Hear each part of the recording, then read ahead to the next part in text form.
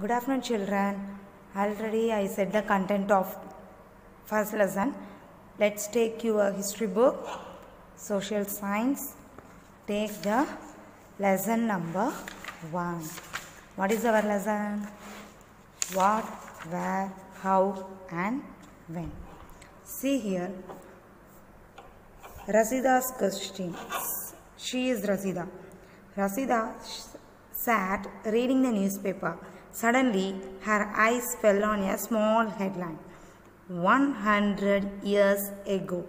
How, she wondered, could anyone know what had happened so many years ago?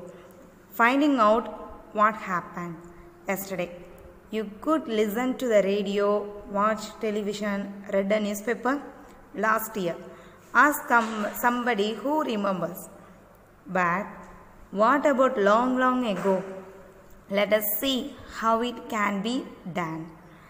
So, how we can find out what happened exactly for the past, current, and future too? We have to see the newspaper or else watch the television continuously and hearing news about on radio okay see what can we know about the past there are several things we can find out what people ate what the kinds of clothes they wore the houses in which they lived we can find out about the life of hunters, herders, farmers, rulers, merchants, priests, craft person, artists, musicians, and scientists, etc. Maybe. So, uh, what are the types of uh, people they have started to live? Those things, how they are living hunters, herders, farmers, rulers, merchants, priests, craft person, artists, musicians, and scientists. We can also find out about the games children played, the stories they heard, the plays they saw, the, the songs they sang. In old movie, if you watch uh, any old movies, we can see lot and lot information. Uh, in our olden days, the grandma or grandpa only, they are going to uh, lots of lots of stories they have told to children and they have played totally differently. Nowadays we shouldn't play, but during the quarantine we have played that in this lockdown. Where did the people live? Find the river Narmada on map 1. It, it is on the page number 2. People have lived along the banks of this river for several hundred thousand years. Some of the earliest people who lived here were skilled gatherers, that is, people who gathered their food. They knew about the vast wealth of plants in the surrounding forest and collected roots, fruits, and other forest produce for their food. Uh, they also hunted animals. Uh, first of all, uh, they are not be decent people. They are be. Uh, how can we say that one? Uh, Adivasi tribes. They are being a tribes. Okay. Now find the Sulaiman and Kirthar hills to the northwest. See here. This is the India map. Where is Narmada river? See here.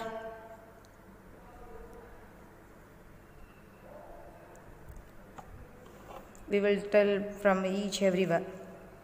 This is Kaveri, Pennar, Tungabhadra and Krishna river. This is Western Ghats. This is Eastern Ghats. Tabdi, Sabra. This is Narmada. This one is Narmada. This is Vindhyas, Mahanadi, Ganga and Brahmaputra. Ganga river had a lot of subordinate uh, rivers to Ganga. From the Ganga only they have separated Yamuna and Chambal. Here Thar desert. These is a, uh, these are fully hills area. These are fully hills area. This is the Himalayas. This is Himalayas. Indus and Kirthar Hills, Sulaiman Hills. This is Kabul. Here only China. Okay, see here. Now, where is the Sulaiman and Hidar Hills in the northwest? This is north. This is south. This is east. This one is west. In between of north and west, this is called northwest. In between of south and west, this is called southwest. In between of south and east, this is called southeast. This one is east. North and east, in between, we have to say northeast. Okay. So, where is the Sulaiman and Hirdar hills? In the northwest. Some of the areas where women and men. First began to grow crops such as wheat and barley about 8000 years ago. Are located here. People also began rearing animals. Rearing means uh, making a growth of animals. Uh, what are the animals we are having a rearing in our home to? Uh, goat sheep hen. Okay like sheep goat and cattle. Cattle means mandai ஆடுகள் இதெல்லாம் and lived in villages. Locate the Garo Hills to the northeast and the Vi- Vindhyas in central in India. These were some of the other areas where agriculture developed. So, where is the first of all we have developed our agriculture? Garo Hills and Vindhyas. Where is the these Vindhyas in the central, Garo Hills in the northeast.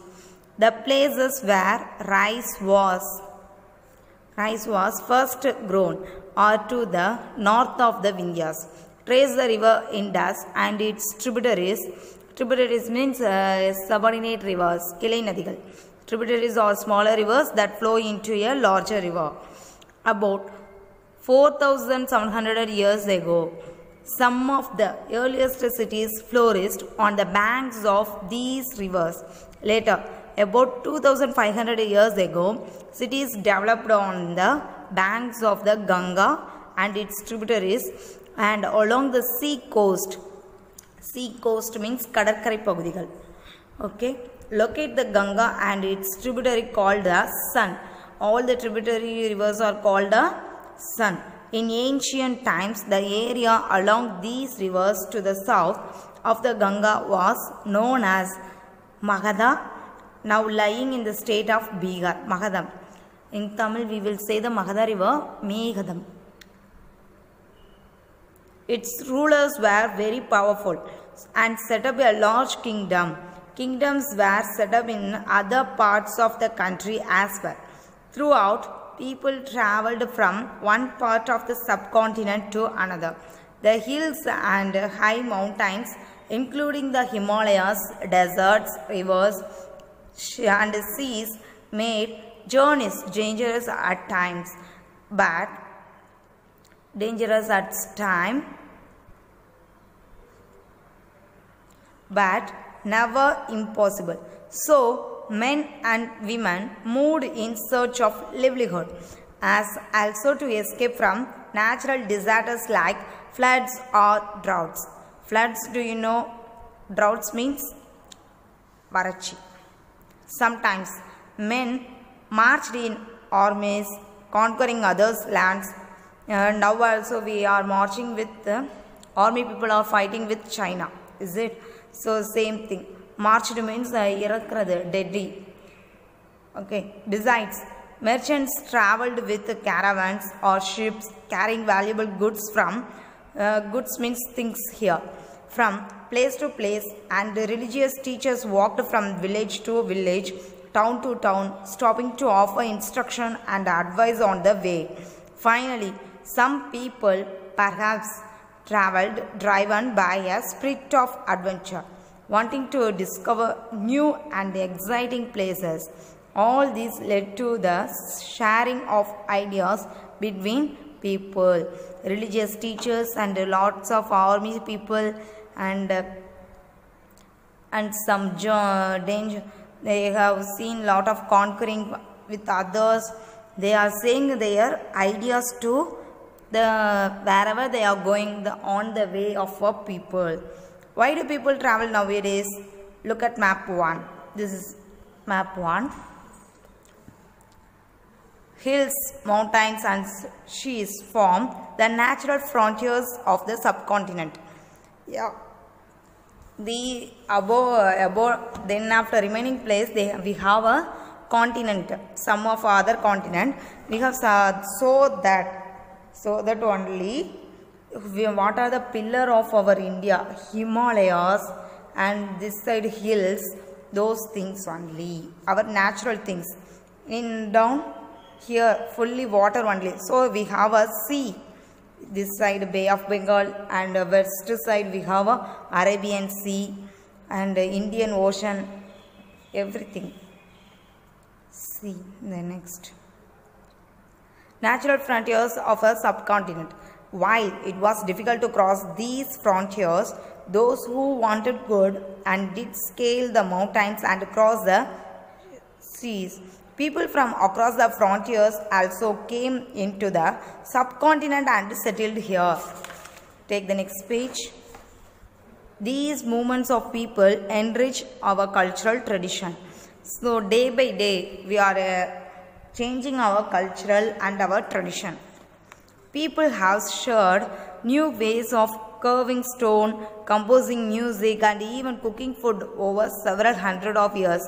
Yes, before in uh, ancient world ancient time our grandma grandma living time we have used only for that uh, crop crop fields that barley cum uh, bajra and uh, variety of millets millet food lot of millets food like but nowadays we are eating pizza burger variety of dosa sambar idli we are eating a lot of noodles Fast food item only we are eating nowadays. This is a difference they have said. Names of the land. Two of the uh, words we often use for our country are India and Bharat. The word India comes from the Indus called Sindhu in Sanskrit. Sanskrit language. From the Sanskrit language only we got our land name. What, what is that first of all? Indus. Then only it has been converted as a India. Find Iran and Greece in your atlas. If you have atlas, just see Greece and Iran.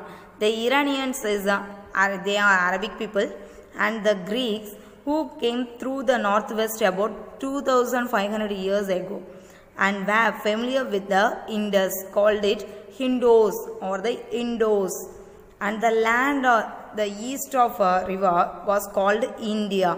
So where we have called the east river India. Then only finally we have fixed the name for our country India. Before what are the names for our country? Hindos and Indos.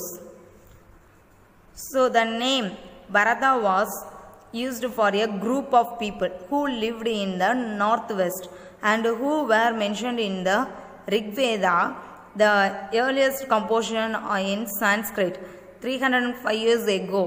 Where, where is the language here?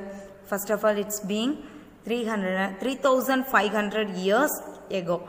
Later, it was used for the country. So, then nowadays, the Sanskrit language, they didn't learn that much. Uh, only Brahmin people only, they are learning the Sanskrit language nowadays. That is also less only. But uh, which one is mentioning mostly the Sanskrit language? Rig Veda. Finding out about the past. Our next paragraph. There are several ways of finding out about the past. One is to search for, for and read books that were written long ago. These are called manuscripts. Manuscript is a document by it has been writing by our hand hand document because they were written by hand. This comes from the latin word manu meaning is hand. These were usually written on palm leaf. Uh, in tamil we will see this uh, say this uh, olai chuvadi or on the specially prepared bark of a tree known as the birch which tree they have used to write birch tree bark which grows in the Himalayas. Where is the tree is growing? Himalayas only. Over the years, many manuscripts were eaten away by insects, and some were destroyed. But many, many have survived, often preserved in temples and monasteries. Monasteries means it's like be a ashram. These books dealt, dealt means solved with all kinds of subjects, religious beliefs, practices, the lives. Dealt meaning is the solved. Okay, so how they are uh, solved with all kinds of subjects, not for uh, Tamil. They have they in ancient days they learned lot of subjects Tamil, uh, Prakrit. In English, we have to say Prakritam in English, Prakrit, Sanskrit, then astronomy, uh, science, maths, everything. And medicines also. Religious beliefs and practices. The lives of kings, medicine and science. Besides, there were epics. Epics means uh, peruncopium. For example epics Silappatikaram Manimekalai Valayapathi Kundalakesi Seevaka Chintamani poems place many of these where written in Sanskrit others were in Prakrit. Lang- Prakrit is a language. In Tamil, we have to say this Pragritam. Languages used by ordinary people and Tamil too. So, what are the language of people they have uh, spoke already in ancient days? Prakrit, Sanskrit, and Tamil. We can also study inscriptions. Inscriptions means uh, it is to be a writing, but it is in a hard surfaces. Hard surfaces means hard things metal being a metal. These are writings on relatively hard surfaces such as stone or metal. Sometimes kings got their orders inscribed uh, so that people could see, read and obey them. There are other kinds of inscriptions as well where men and women including kings and queens. Who is the men and women mentioning here? king and queens recorded what they did so if we go where pragadiswara temple anywhere like this uh, epic epic temples okay so if we go there we will see lots of uh, their what they did in ancient days that a metallic proof we had for in museums also for example kings often kept records of victories in battle. Battle means it's a war. Can you think of the advantages of writing on a hard surface? Yes, it's never being destroyed. Uh, and what could have been the difficulties? But uh, while writing session, it's to be a difficult, but it's never destroyed. So that we will use the inscription long, long years ago too. There were many other things that were made and used in the past. Those who study these objects are called archaeologists. I said, you know, uh, who is the archaeologist? Who is studying about uh, history or uh, ancient things, the study of uh, ancient things. That person are called uh, archaeologist. They study the remains of buildings, remains uh, made of stone and brick, paintings and sculpture. They also explore and excavate. Excavate means dig, digging the uh, earth, dig under the surface of the earth to find tools, weapons, pots, pans, ornaments, and coins of ancient used used used by ancient people. Nowadays, where Mudumakkal Tali. In uh, mostly always the archaeologists searching here in Tamil Nadu, especially near to Pudukkottai only. If you see a newspaper, read this news too. Okay, nowadays also they have found lot. Some of these objects may be made of stone, others of bone, backed clay or metal. Objects that are made of hard, imperishable, imperishable, never destroy. Substances usually survive for a long time. The imperishable things, everything they have kept in a museum. See, like this pot, metal, proof coins, everything. Archaeologists also look for bones of animals, birds, and fish to find out what people ate in the past. Plant remains survive far more rarely. Rarely means ra- randomly. If seeds of grain or pieces of wood have been burnt, they survive in a charred form. It's to be a charred form means uh, connecting something. Do you think cloth is found frequently by archaeologists? Historians, that is, scholars who study the past, often they uh, use the word source to refer the information found from manuscripts and inscriptions and archaeology. The archaeology who study about the archaeology, that person is called the archaeologist. They, if they being a scholar in this history about the past, they will call a historians. Once so, once sources are found, learning about the past becomes an adventure as we reconstruct it bit by bit. So historians and archaeologists are like detectives. They are searching, always they have searched something about our past. Who use all these sources like clues to find out about our past. Once one past or many. Did you notice the title of this book? Our past. See here. Our past. Our past means is to be like we are getting more information about our history subject. We have used the word past in plural to draw attention to the fact that the past was different from different for different groups of people. For example, the lives of herders or farmers were different from those of kings and queens. The lives of merchants were different from those of craftspersons and so on. Also, as is true even today, people followed different practices and customs in different parts of the country. For example, today most people living in the Andaman Islands get their own food by fishing, hunting and collecting forest produce. By contrast, most people living in cities depend on others for supplies of food. Yeah, we are uh, getting a, we are depending somebody. That is that. Differences such as these existed in the past as well.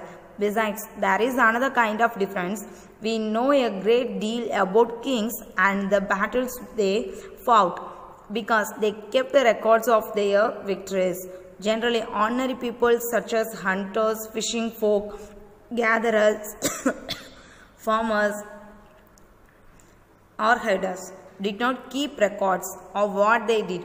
While archaeology helps us to find out about their lives, there is much that remains unknown. Only archaeology people only will help them to what about them. We will know uh, for the historian people will explain lot and lot information about kings or queen. But archaeology only who lived here long, long years ago like those information who will give to us archaeology. What do date means? If somebody asks you the date, you will probably mention the day, month and year 2000 and something. Is it? Uh, for generally, if they ask you uh, when is your birthday, you will say your date of birth. Like that. If they ask your, uh, you know your father and your mother birthday. Apart from that, if they ask about your second generation of grandpa or grandma of your family, if they ask like this question, how can you say this? you have you don't know the date is it? So how they you have to count for those things they have given here. These years are counted from the date generally assigned to the birth of jesus christ the founder of christianity who found this. Christian people only find the date. So 2000 means 2000 years after the birth of christ. Christ all dates before the birth of christ are counted backwards and usually have the letters BC. BC means before Christ added on. In this book, we will refer to the dates going back from the present using 2000 as our starting point. If you see a history of king anybody, we have to use BC or AC or else AD like. See here, letters with dates. BC we have seen stands for before Christ. You will sometimes find AD before dates. This stands for two Latin words, Anno Domini, meaning in the year of the Lord, I, that is, who is the Lord? Christ. So 2012 can also be written as AD 2012. 2020 also we have to write AD 2020. Sometimes C is used instead of AD and BCE instead of BC. The letters CE stand for common era and BCE for before common era. We use these terms because the Christian era what is that Christian era is now used in the most countries of the world. In India, we began using this form of dating from about 200 years ago. Nowadays, we didn't use this uh, BCE, CE, anything. We are using only AD. And sometimes the letters BP meaning before present are used. Find two dates mentioned on page 3. Which set of letters would you see for them? Page number 3 you will see this later this is the inscriptions they, these are metallic information for us so this is the inscription okay friends is there any doubt? Just ask to me. Thank you